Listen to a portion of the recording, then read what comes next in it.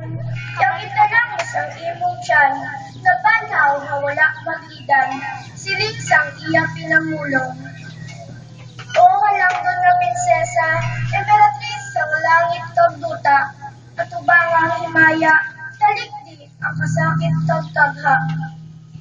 Yan ang dinidron mo nga korona, nga sa imo ulo ipinahamtang, amo ang tanda sa paghigugma,